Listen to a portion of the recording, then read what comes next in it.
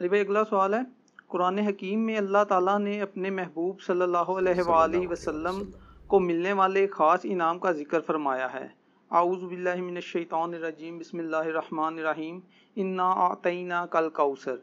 इस आयत मुबारक में अल कौसर से क्या मुराद है? प्लीज़ वजात फरमा दें। देखें, नबी सल्लल्लाहु अलैहि वसल्लम को अल्लाह ताला ने जो बड़ी नेमतें अता फरमाई हैं, उनमें से एक इस सूरत का नज़ूल भी है, जिसमें बिशारत दी गई कि इन्ना आतना कल कौसर, हमने आपको अल कौसर अता फरमाया। फ़सल रबी का वन हर बस आप नमाज़ पढ़ें और अपने रब का नाम लेकर क़ुरबानी करें। इन नशान या कहवल अबतर बेशक आपका दुश्मन ही बेनामो निशान रहेगा। ज़ाहिर है वो काफिर कहते थे आप इस्लाम का कोई बेटा नहीं है और ज़ाहिर है कि अरब के कल्चर के अंदर बेटे नहीं, आगे मिशन को लेके चलना होता था। तो वो कहते थे कि नबी इस्लाम के बच्चे बचपन में फौत हुए, सिर्फ़ बेटियाँ ही हैं तो आपके मिशन को आगे लेके कौन चलेगा? तो अल्लाह ताला फरमाया कि हमने तो अपने नबी को खैर कसीर अता फरमाई है। आपको अल्लाह ताला करोड़ों रूहानी बेटे देगा जो आपकी दावत कबूल करने वाले हैं। इस कॉन्टेक्स्ट में सही बुखारी में एक हदीस है कि हज़रत इबन अब्बास रदी अल्लाह तुमा कहते हैं, इमाम बुखारी इसी आयत के कॉन्टेक्स्ट में उसे लेके आए कि ये अलकौसर से मुराद खैर कसीर है। यानी हर खैर आप इस्लाम को कसरत की तादाद में दिया गया। फ़ज़ाइल कसरत से हैं। आप सल्लल्लाहु अलैहि वसल्लम की औलाद कसरत से है। आप सल्लल्लाहु अलैहि वसल्लम के फॉलोअर्स कसरत से हैं। दुनिया में भी और जन्नत में जाने वाले भी। बुखारी, मुस्लिम दोनों में हदीस है कि जन्नतियों का निसफ मेरी उम्मत से होगा। और इबन माजा में हदीस है कि जन्नतियों की 120 में से 80 सफ़े मेरी उम्मत से होंगी। तो ये खैर कसीर है, आपको अता फरमाया गया। तो बुखारी की उस हदीस में आता है कि अब्दुल्ला बिन अब्बास का जब ये कॉल बयान करते हैं हज़रत सईद इबन जुबैर तो उनको बाज़ तबा ताबीन कहते हैं कि जब हम लोगों से ये बयान करते हैं ना कि इससे मुराद खैर कसीर है तो लोग कहते हैं कि नहीं, अलकौसर से मुराद जन्नत की एक नहर है, अलकौसर। तो सईद इबन जुबैर कहते हैं कि जन्नत की वो नहर भी तो खैर कसीर में दाखिल है। हजूर को जो जन्नत की नेमतें मिलेंगी, वो भी कसरत के साथ मिलेंगी। तो ये इसकी जो तफसीर है ना, खैर कसीर वाली, ये सबसे ऑप्टिमल है।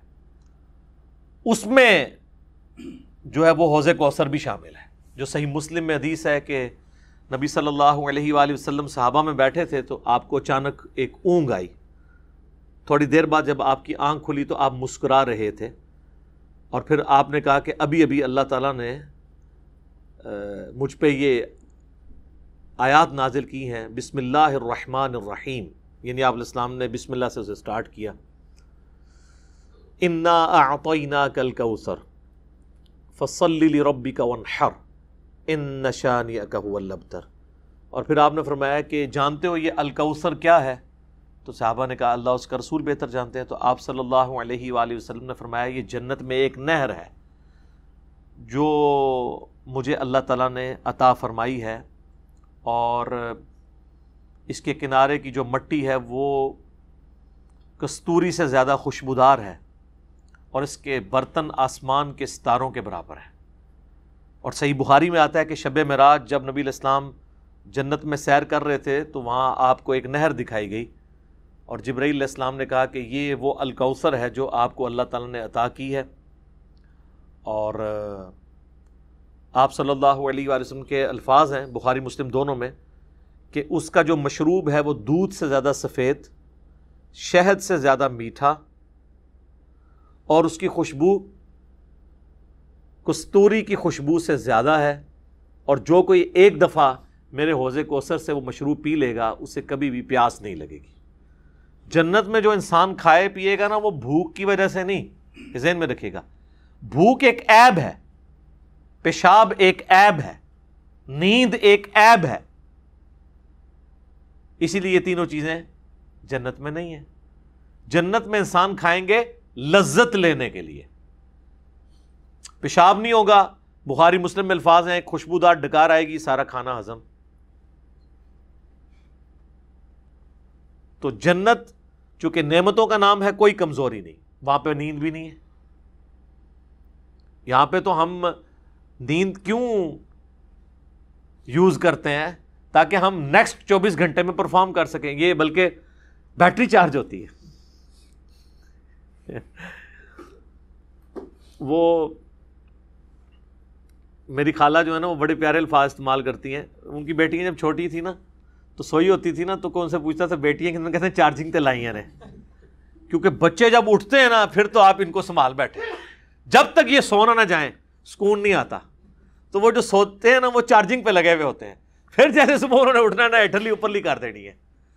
तो क्यामत में जन्नत वाले दिन आपको चार्जिंग की जन्नत में चार्जिंग की ज़रूरत नहीं है, बल्कि नींद वहाँ पे ज़रूरत ही नहीं, अल्लाह ताला ने वैसे ही इंसान को इतनी एनर्जी दी हुई होगी।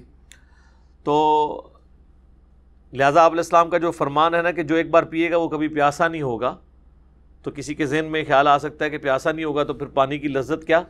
वो अल्लाह ताला ने जन्नत की नेमतों में लज्जत ही इतनी रखी है कि इंसान लज्जत की वजह से उसको इस्तेमाल करेगा। और फिर उन्हीं अहादीस में बुखारी और मुस्लिम के मौजूद है कि मेरे हौज़ कोसर पे फिर ऐसे लोग भी लाए जाएँगे, जिन्हें मैं पहचानता हूँ और जब मैं उन्हें मशरूब पिलाने लगूँगा तो मेरे उनके दरमियान एक आड़ कायम कर दी जाएगी। तो मैं कहूँगा ये तो मेरे सहाबा हैं, असहाबी असहाबी। उम्मती वाली रवायतें भी हैं बुखारी, मुस्लिम में, असहाबी वाली भी हैं। तो मुझे बताया जाएगा कि यारसुल्ला आपको नहीं पता, आपके बाद इन्होंने दीन में बिदअतें जारी कर दी थी और उल्टे कदम फिर गए थे। तो आप सल्लल्लाहु अलैहि वसल्लम फरमाते हैं कि फिर मैं कहूँगा, सुहकन सुहकन लिमन गैर आबादी इन पर फिटकार हो, इनको मुझसे दूर कर दो जिन्होंने मेरे बाद मेरे दीन को बदल दिया। ये हदीस बुखारी और मुस्लिम दोनों में है और हौज़ कोसर वाले चैप्टर में इमाम मुस्लिम इसे लेके आए हैं, बुखारी में मौजूद है। इस हदीस पे कमेंट्स हैं अब्दुल्ला इबन अबी मुलैका ताबई के, वो जब भी हदीस बयान किया करते थे तो वो कहा करते थे अल्लाह, हम तुझसे ये दुआ करते हैं कि तेरे नबी की वफ़ात के बाद उनके दिल से उल्टे कदम ना फिरें। आमीन तुम आमीन। तो अल्लाह ताला हमें हौज़ कौसर पे आप सल्लल्लाहु अलैहि वसल्लम के मुबारक हाथों से मशरूब नसीब फरमाए। ये दुआ इंसान को अपने लिए करनी चाहिए। ज़ाहिर है कि वो अहल जन्नत होंगे। और बुखारी, मुस्लिम में कि उसके जो बर्तन है ना वो बर्तन ही आसमान के सितारों के बराबर उसकी तादाद है। पूरा एक नक्शा खींचा गया। आप मिशकात की तीसरी जिल्द में हौज़ कोसर और शफात वाला चैप्टर निकालें तो आपको वो सारी अहदीस मिल जाएँगी। तिरमजी और इबन माजा में एक वो हदीस भी बड़ी मशहूर है जो हज़रत अनस इबन मालिक कहते हैं कि यारसोल्ला क्या मेरी शफात करेंगे? तो आप फरमाया, मैं करूँगा। तो यारसोल्ला क़्यामत वाले दिन मैं आपको कहाँ तलाश करूँ? तो आप फरमाया मज़ान अमल पर आ जाना, जहाँ मेरे उम्मतियों के नाम माल तुल रहे होंगे। या रसुल्ला वहाँ ना पाऊँ तो फरमाया हौज़ कौसर पे आ जाना। अर्ज़ की वहाँ पे भी ना पाऊँ तो फरमाया फिर पुलिस रात पे आ जाना। कहा वहाँ पे भी ना पाऊँ तो आप फरमाया मैं इन तीन जगहों के सिवा कहीं और नहीं हूँगा या मैं हौज़ कौसर पे हूँगा अपने प्यासी उम्मतियों को मशरूब पे ला रहा हूँगा या फिर मिज़ान अमल पे हूँगा शफात के लिए, या फिर मैं पुलिस रात पे हूँगा अपने उम्मतियों के लिए सलामती की दुआ करने के लिए। तो ये तीन जगह हैं जहाँ पे आप सल्लल्लाहु अलैहि वसल्लम को क़यामत वाले दिन तलाश किया जा सकता है इन ताला। तो ये हौज़ कौसर में वो खैर कसीर जो हर तरह की आपको अता की गई, वो भी शामिल है और स्पेसिफ़िकली हौज़ कौसर जो है, वो भी। हती कि जो बुखारी और मुस्लिम में हदीस है, आपने अपनी वफात से एक महीने पहले खुतबा दिया था गजब अहद के शहदा पर जो आपने नमाज़ जनाजा दोबारा पढ़ी थी आठ साल बाद। उसमें अल्फाज हैं। आपने फरमाया कि मेरा मेंबर जो है वो हौज कौसर पे लगा हुआ है। ये खैर, ये वाले जो अल्फाज हैं, ये दूसरी हदीस में, क्योंकि वहाँ पे मेंबर नहीं था। ये अल्फाज हैं बुखारी और मुस्लिम की वो हदीस कि मेरे घर से मेरा, मेरे मेंबर से मेरे घर तक जन्नत के टुकड़ों में से एक टुकड़ा है रियाजुल जन्ना। उसमें अल्फाज हैं और मेरा मेंबर जो है वो हौज कौसर पे लगा हुआ है। यानी आप वो देख रहे थे हौज कौसर का मंजर। टाइम में गुजार के आपको दिखाया गया। वो जो बुखारी मुस्लिम की वो वाली हदीस है, उकबा बिन आमिर वाली, जो शहदाय अहद पे आपने आठ साल बाद जनाजा पढ़ा अपनी वफात से एक महीना पहले। और उकबा इबन आमिर के अल्फाज हैं, ये आखिरी दफ़ा मैंने रसुल्ला को मेंबर पर देखा, उसके बाद मैंने आपको नहीं देखा। तो उसमें अल्फाज हैं, आपने फरमाया कि मैं अपने हौज़ कोसर को इस वक्त भी देख रहा हूँ। और देखना मेरे बाद जो है वो मुझे तुमसे ही ख़तरा नहीं कि तुम शिरक में मुबतला हो जाओगे, बल्कि मुझे ख़तरा है कि तुम दुनिया के माल में पड़ जाओगे और फिर इसकी लालच में एक दूसरे को कत्ल करोगे और तुम भी तबाह बर्बाद हो जाओगे। जिस तरह अगली कौमें तबाह बर्बाद होगी तो उसमें भी हौज़ कोसर के अल्फाज मौजूद हैं। और फिर मेरे करबला वाले रिसर्च पेपर में भी आपको पता है, एक हदीस है, जो मैंने हौज़ कौसर का ज़िक्र उस हदीस के अंदर भी मौजूद है। जब वो सुनबी दाऊद की एक हदीस है ना, वो उबैदुल्ला इबन ज़ियाद के पास एक, वो आता है। हाँ ये अबू दाऊद के अंदर फोर सेवन फोर नाइन है। अबू तालू ताबी कहते हैं कि मैं अबू बरज़ा को मैंने देखा कि वो governor Yazid Ubaidullah ibn Ziyad के पास आए जबकि वो दस्तरखान पर था। तो उसने अबू बरज़ा को आते हुए देखा और कहा कि ये तुम्हारा ठिगना मोहम्मदी है। अस्तफ़रुल्ला उनका कद छोटा था तो उनका, ए, गींडा मोहम्मदी। यानी मोहम्मदी उसने इसलिए कहा कि वो हजूर का सहाबी था। तो ये कितनी सख्त तोहन की उबैदुल्ला इबन ज़ियाद ने। ये वही खबीस है जिसके बारे में बुखारी में three seven four eight number हदीस है जिसमें इमाम बुखारी ने हुसैन के साथ अलैहिस्सलाम लिखा है कि ये हज़रत हुसैन के हुसन में कलाम करने लगा तो अनस इबन मालिक ने कहा कि रसुल्ला के सबसे ज़्यादा मुशाबियत रखने वाले हुसैन थे। ये वही उबैदुल्ला इबन ज़ियाद है। तो ये साहबा के गुस्ताख हैं, आल उमैया हैं ये। बनु उमैया के खिदमतगार। तो अब आप देखें, जब उसने ये बात की ना तो हज़रत अबू बरज़ा उसकी तंजिया बात को समझ गया। आपने फरमाया, मुझे गुमान नहीं था कि मैं ऐसे लोगों के दौरे हुकूमत तक ज़िंदा रहूँगा जो मुझे रसुल्ला की सोबत पर आर दिलाएँगे। कि मेरी ज़िंदगी में ये वक्त भी आना है कि रसुल्ला की वजह से हमें पूरी दुनिया पर गलबा मिला और उस गलबे की हुकूमत को जो लोग इन्जॉय कर रहे हैं अरब के बद्दू, ये रसुल्ला से मेरी नस्बत पे मुझे आर दिलाएँगे। कि मुझे कह रहे हैं कि ठिगना मोहम्मदी जिन पंजाबी से कहना गिंडा मोहम्मदी नाउजुबिल्ला तो अब उसने फ़ौरन पैंतरा बदला, वो कहने वो कहने लगा कि मोहम्मद वसल्लम की साबियत तुम्हारे लिए बायस जीनत है, आर का सबब नहीं। फिर कहने लगा कि मैंने तुम्हें इसलिए बुलवाया है कि तुमसे हौज़ कौसर के बारे में पूछूँ। क्या तुमने रसुल्ला से इसके बारे में कुछ सुना है? तो अबू बरजा ने फरमाया हाँ।